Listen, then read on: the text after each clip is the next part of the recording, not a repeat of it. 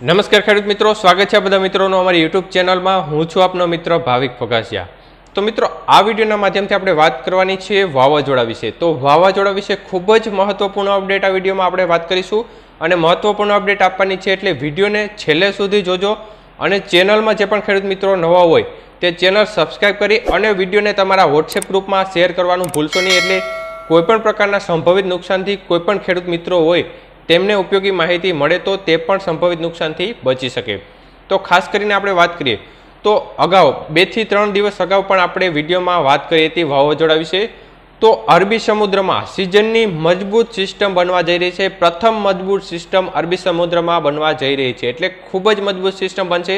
અને આ સિસ્ટમ હાલની મોડલોની પરિસ્થિતિ પ્રમાણે ઈસીએમડબલ્યુએફ તેમજ જીએફએસ મોડેલ બંને મોડેલની પરિસ્થિતિ અત્યારે સિસ્ટમ પંદરથી સત્તર તારીખ આસપાસ આકાર લેવી તેવી પૂરેપૂરી શક્યતાઓ રહેલી છે.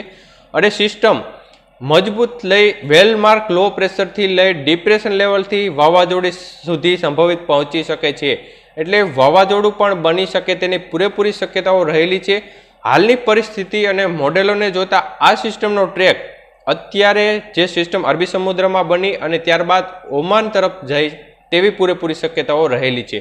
પરંતુ આ સંભવિત ટ્રેક છે, હજી પણ જેમ જેમ આગળ સમય જતો જશે, તેમ પરિસ્થિતિમાં પણ ફેરફાર થતો જશે. તો અમુક મોડેલો ગુજરાત નજીક સિસ્ટમ લાવી રહ્યા છે અને ત્યારબાદ સિસ્ટમ ફરીથી ઓમાન તરફ જાય. આવું પણ બતાવી રહી છે. એટલે મોડેલોની પરિસ્થિતિ પ્રમાણે અત્યારે થોડી અસમંજસતા જોવા મળી રહી છે અને મોડેલોમાં ઘણા ફેરફારો પણ જોવા મળી રહ્યા છે. જોકે હજી પણ જેમ જેમ સમય જશે, તેમ તેમ મોટા ફેરફારો પણ જોવા મળી શકે છે.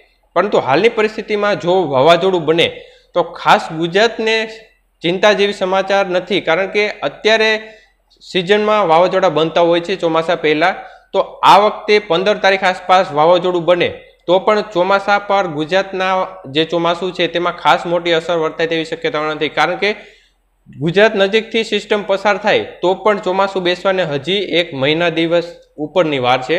તો આ સંજોગોમાં ફરી ચોમાસું આપણે નોર્મલ સમયે જે પંદર તારીખ આપણે જૂન આસપાસ બેસતું હોય છે, તો આ સમય ગાળા દરમિયાન બેસી તે પૂરેપૂરી શક્યતાઓ રહેલી છે.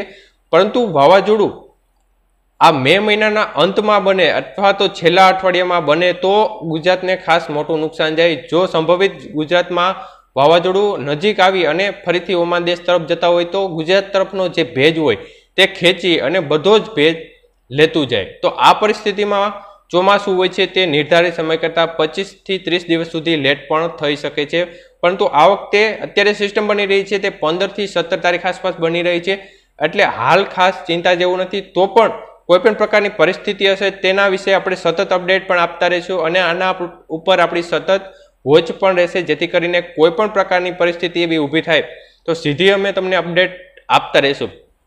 પરંતુ હાલની પરિસ્થિતિમાં આ સિસ્ટમ મજબૂત બની અને વાવાઝોડું બને તો પણ ગુજરાતને આંશિક રીતે થોડી અસર કરી શકે તેવી પૂરેપૂરી શક્યતાઓ રહેલી છે એટલે તારીખ વીસથી બાવીસ દરમિયાન વરસાદ પણ આને લીધે જોવા મળી શકે છે એટલે સંભવિત જે અત્યારે તલના પાક વાવેલા છે, તો આ બધા ખેડૂત મિત્રોને આંશિક રીતે થોડું નુકસાન થાય તેવી પૂરેપૂરી શક્યતાઓ અત્યારે જણાઈ રહી છે એટલે વાવાઝોડું ગુજરાતમાં ના આવે અથવા તો થોડે દૂરથી પણ પસાર થાય, તો પણ આની થોડી અસર તો ગુજરાત પર વર્તાય તેની પૂરેપૂરી શક્યતાઓ રહેલી છે.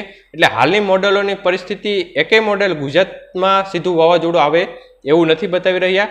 પરંતુ વાવાઝોડું નજીકથી પણ પસાર થાય તો આની આંશિક અસર જોવા મળે તેવી પૂરેપૂરી શક્યતાઓ રહેલી છે. એટલે બીજા અઠવાડિયામાં અત્યારે આંશિક રીતે વરસાદની પ્રમાણ પણ વધુ જોવા મળી શકે છે અને માવઠાનું પ્રમાણ પણ વધુ જોવા મળી શકે છે. જોકે હાલ કોઈ ચિંતા જેવી બાબત નથી, પરંતુ આપણે આ બાબતે સતત અપડેટ પણ આપતા રહીશું અને એવી કોઈ પણ સ્થિતિ જણાશે તો અમે તમને સીધી જાણ કરીશું. ત્યાં સુધી અમારી સાથે જોડાઈ લેજો. આભાર મિત્રો.